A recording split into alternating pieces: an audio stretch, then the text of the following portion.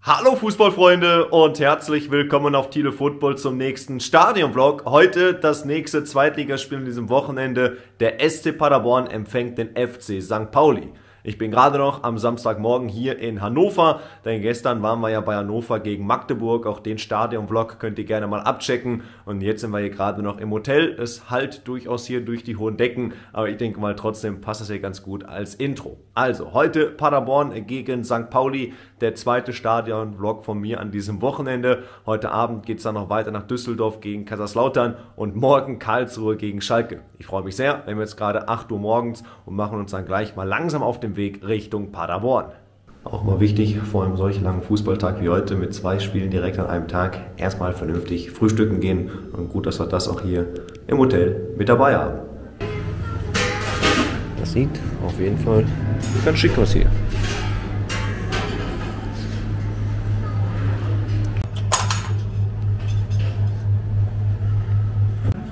Schöne Auswahl hier, ein bisschen Wurst, Käse, Speck, Frikadelle und natürlich der Kakao. Denn der darf natürlich nicht fehlen. Das war's also hier aus Hannover. Es regnet schon wieder wie gestern Abend. Danke dafür. Vor einer Stunde war es noch trocken. Jetzt gehen wir zum Auto und es regnet. Aber egal, jetzt geht's weiter nach Paderborn. Der zweite Stadionvlog an diesem Wochenende steht somit für euch an und ich freue mich auf Paderborn gegen St. Pauli. Könnte, glaube ich, ein cooles Spiel werden. Paderborn, auch nachdem sie gegen uns auf Schalke oder gegen Schalke in Paderborn gewonnen haben, läuft es bei denen wieder besser. St. Pauli spielt eine Top-Saison bis hierhin. Das könnte ein echt cooles Samstagmittagsspiel werden.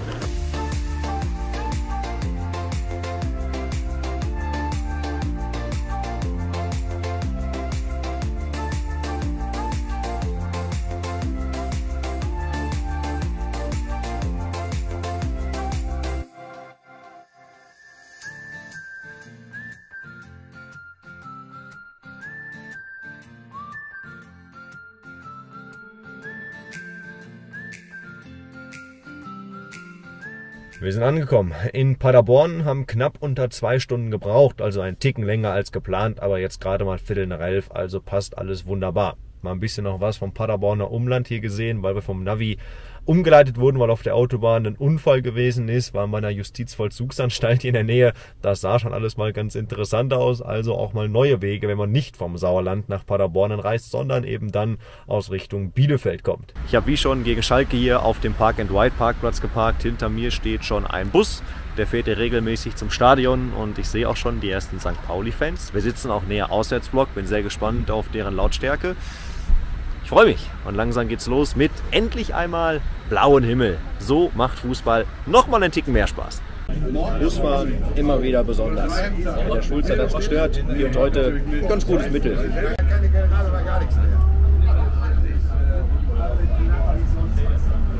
Der, der Töpfer auf dem Schrank und da mal drauf. Wenn du den Parkplatz guckst, der ist aber schon gut voll. Ja. Und hier sind wir an der Home Deluxe Arena in Paderborn.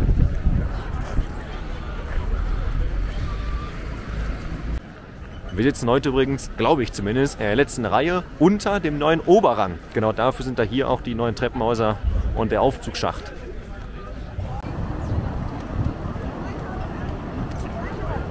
Hier sind wir drin.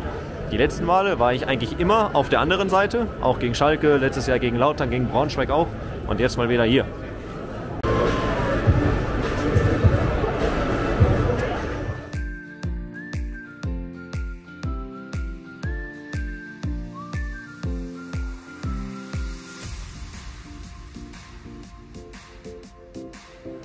Angekommen auf unseren Plätzen.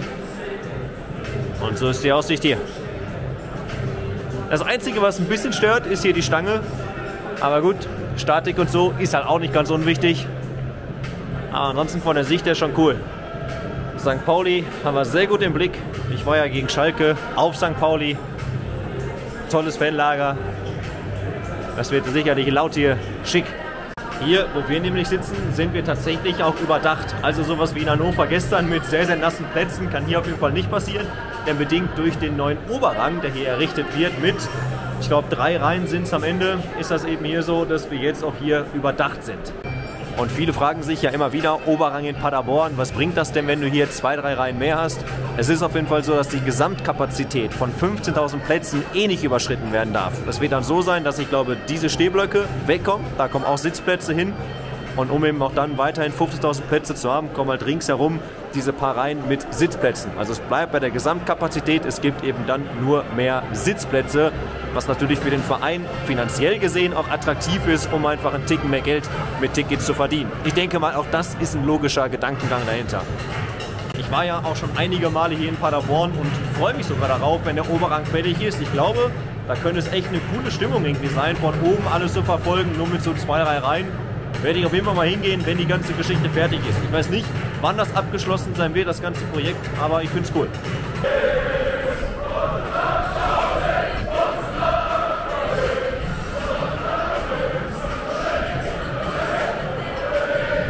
Jetzt haben wir hier einmal das Mittagsmenü auf unserer langen Stadiontour. Schönes Bierchen mit einer Bratwurst.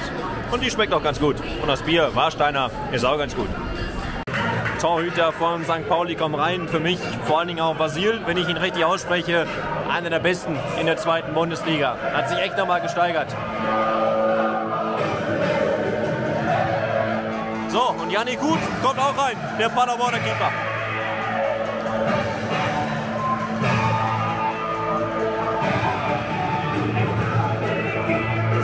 Wir haben natürlich auch hier heute durchaus ein Topspiel in der zweiten Bundesliga. St. Pauli ist Tabellenführer, spielt eine unglaublich starke Saison und will natürlich seinen starken Trend fortsetzen. Paderborn ist durch den Sieg gestern von Elversberg erstmal auf Platz 8 abgerutscht, aber zeigt natürlich auch eine aufsteigende Form. Haben wir unter anderem hier im letzten Heimspiel gegen uns, gegen Schalke, vollkommen verdient gewinnen können. Auch dann in Braunschweig, wo ich auf Malle war, haben sie gewonnen, haben wir in der Konferenz da gesehen und machen auch einen immer besseren Eindruck. Ich bin sehr gespannt bei Paderborn auf Mathis Hansen. Der ist wieder auf der 6er Position dabei.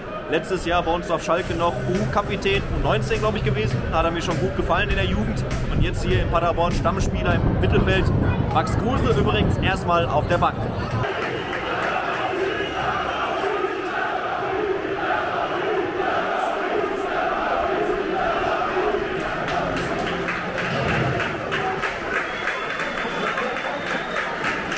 Marcel Adler sehen wir hier schon. So ein geiler Kicker.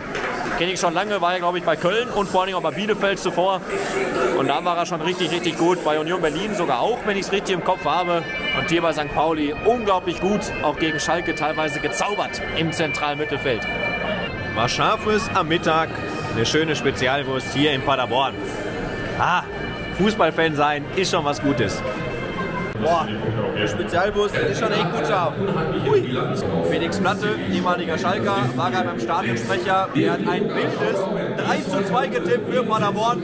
Mein Tipp ist ein 3 zu 1 für St. Pauli. Boah, also die Schärfe von der Spezialwurst, die hat mich gerade echt eingeholt. Alter Schwede, ey. Erstmal ein bisschen Fanta getrunken, jetzt geht's wieder. Wir haben noch gute 10 Minuten bis zum Anpfiff und so langsam kommen auch die ganzen Fahnen von St. Pauli. Denn auch wir hatten ja den Stau auf der Anreise, wo der Unfall war. Deswegen sind wir hier durch Land und Berge gegurkt. Das war auf jeden Fall besser, denn die alle standen im Stau. Deswegen sind sie ein bisschen spät dran, obwohl der Block schon trotzdem echt gut voll ist. Bei Paderborn wird es Leute auch eine schöne Choreo geben, wurde mir gerade verraten.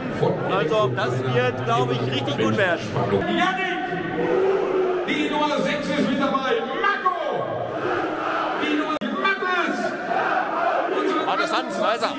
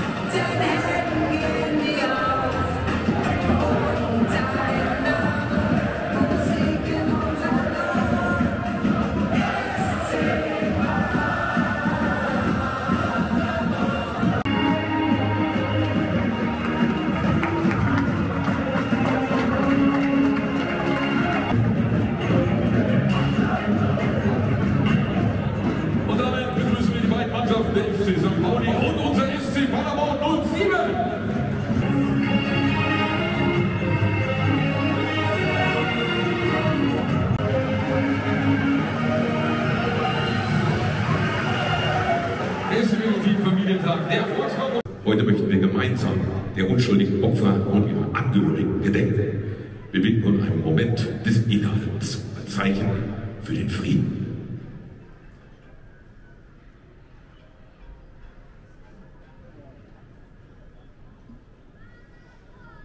Vielen Dank. Vor Abpfiff gilt es natürlich auch noch einmal hier Stimmung zu machen für unsere Mannschaft und deswegen geht alles einen Applaus für unseren SC Paderborn 07.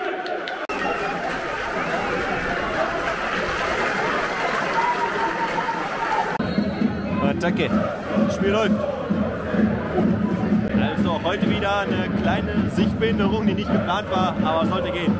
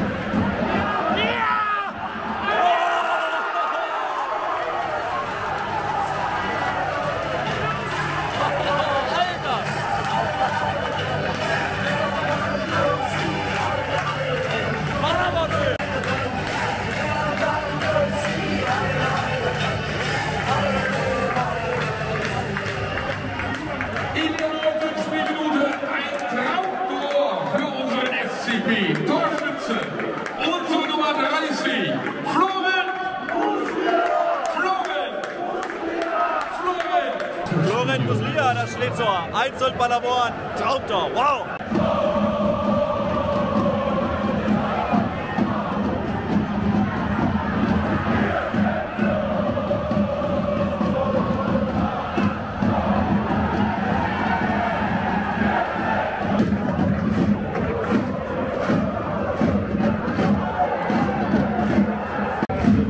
Minuten rum. Ja, Paderborn ist ein Ticken besser drin. St. Pauli tut es da vorne schwer und deswegen ist die Führung auf jeden Fall mal nicht unverdient.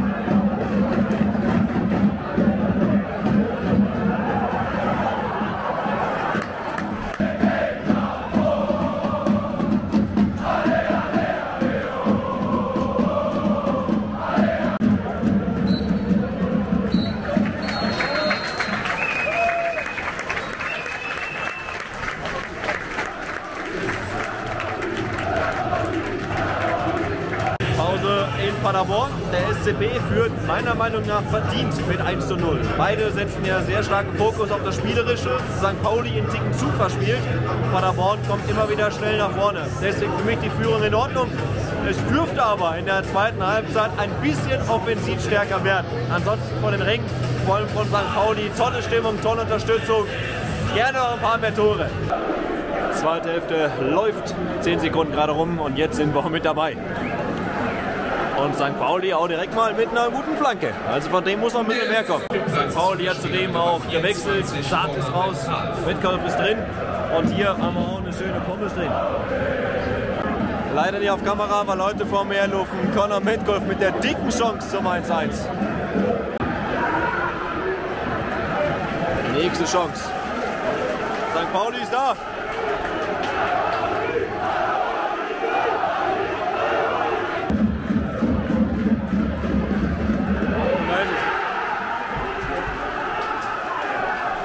Helgestein mit dem 1 zu 1.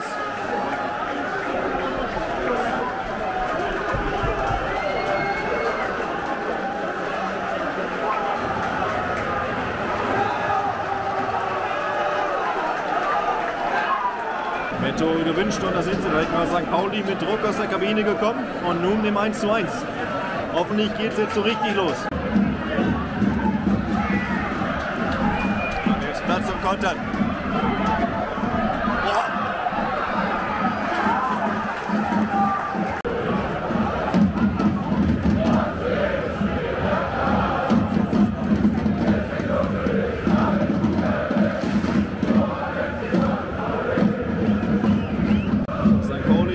Auf jeden Fall deutlich besser. Paderborn wechselt auch gleich, da muss ein bisschen was passieren. So das 2-1 eher auf St. Pauli-Seite, wenn es so weitergeht.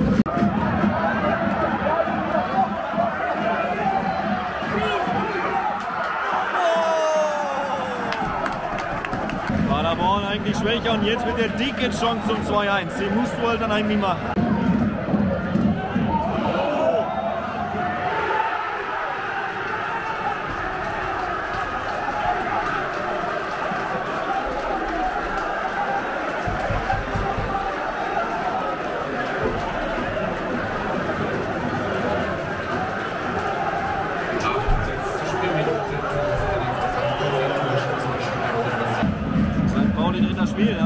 Durchaus verdient aufgrund der zweiten Halbzeit.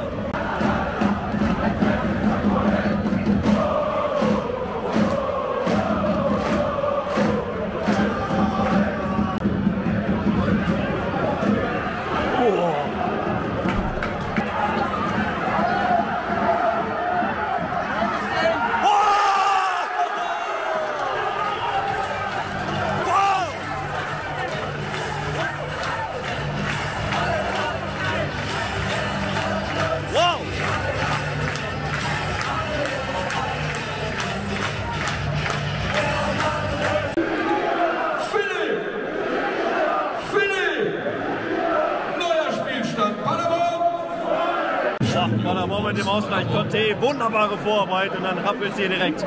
Jetzt könnte es aber eine richtig gute Schlussphase werden.